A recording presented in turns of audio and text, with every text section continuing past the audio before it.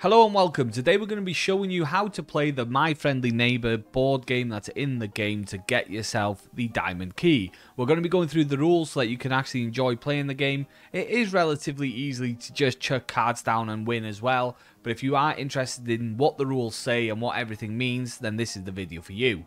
Let's jump straight into it with the rules. Press the bell to start. When it's your turn, either draw a card or play a card to move that many spaces. First to end wins. Specials. Then we have four special things that you can land on. First off, we have Norman. If you land on him, it's draw a card. Then we have Junebug is a wild. If you start your turn on Junebug, immediately play the top card of the deck.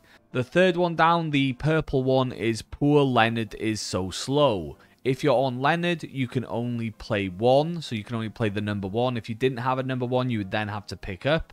And last but not least, uh-oh, if you land on Goblet, you lose. So that's the bottom guy with his mouth open. Alright, that's the rules read, but let's get into the board game and let's get ourselves into some sticky situations so that we can show you this in play.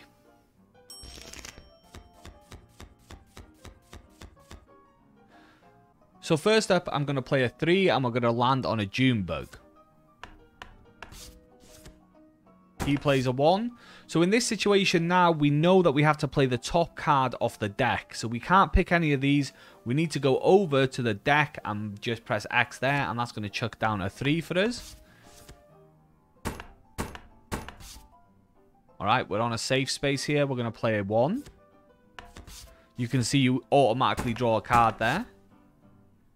Now, if we were to pick two here, we would instantly die to the goblet. So we're going to pick a three.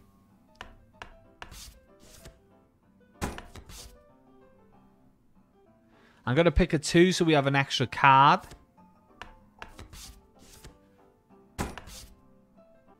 We can't pick our threes here or we'll die, so we'll pick a two.